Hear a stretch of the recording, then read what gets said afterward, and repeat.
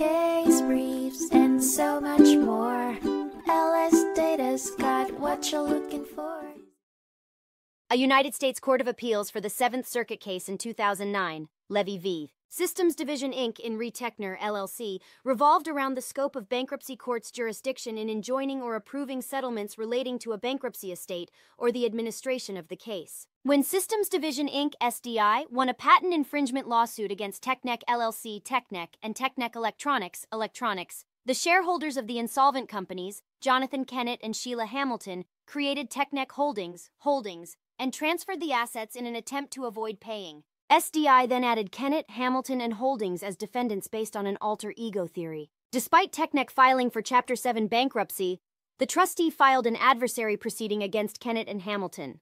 Although the bankruptcy court issued an injunction preventing SDI from collecting its patent judgment, the district court vacated the injunction. The trustee then appealed the district court's decision, hoping to pursue the claim against Kennett and Hamilton. Ultimately, the court affirmed the district court's decision to vacate the bankruptcy court's preliminary injunction and sanctioned both the trustee and SDI $5,000 each. The case remained within the court's jurisdiction, and the decision to sanction the alter egos was left to the bankruptcy court. Case briefs, and so much more.